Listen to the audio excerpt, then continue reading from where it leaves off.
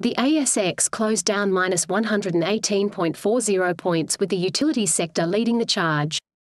Of the 50 largest stocks, the most movement has been from Newcrest Mining which closed 3.04% higher.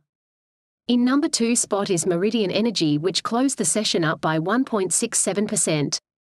Northern Star Resources rounds out the top three moving up 1.17%.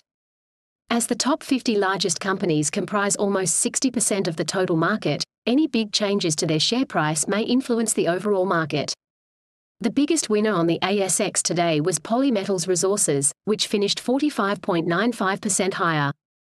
The biggest loser by the close was Cyclone Metals, falling by 50%. Get it first, get it fast, get it on Grafa.